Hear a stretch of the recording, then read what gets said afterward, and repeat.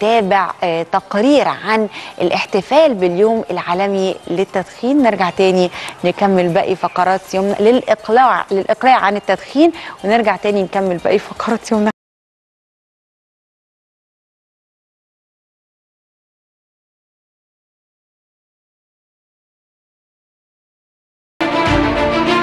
تزامنا مع احتفال منظمة الصحة العالمية باليوم العالمي للإقلاع عن التدخين.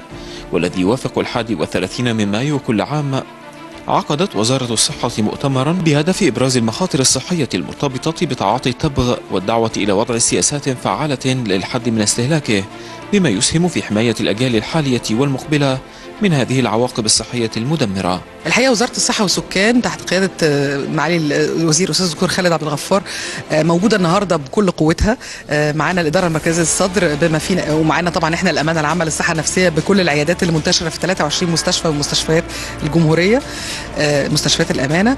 وعندنا طبعا كمان مكتب مكافحة التدخين اللي له خط ساخن وبيساعد آه، على استقبال المكالمات الناس اللي عايزة تبطل وتتخلص من هذه ال- الآفة السيئة.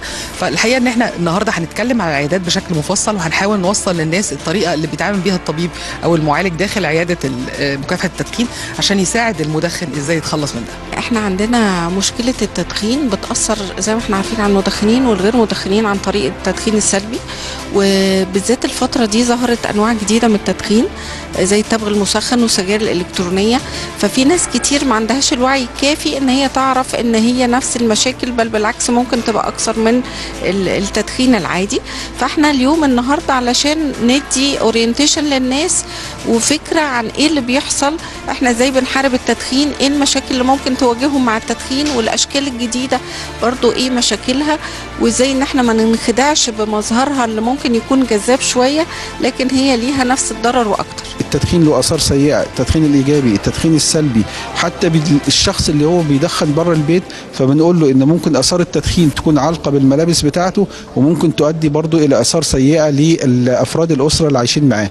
التدخين بيؤدي إلى استقطاع جزء من دخل المواطن أو الأسري وده يمكن الجهاز المركزي لما حسب النسبة دي لأن المواطن بينفق أكتر من 6000 جنيه سنويا على التدخين. فده طبعا بيؤدي إلى نقص في موارد أخرى. إحنا بنقول إن دايما كل فرد أو كل رب أسرة بيعمل زي خطة للإنفاق على الأسرة بتاعته أو على بيته فهو كده بيستقطع جزء من هذه الخطة على التدخين وعلى الآثار السيئة اللي بينتج عنها.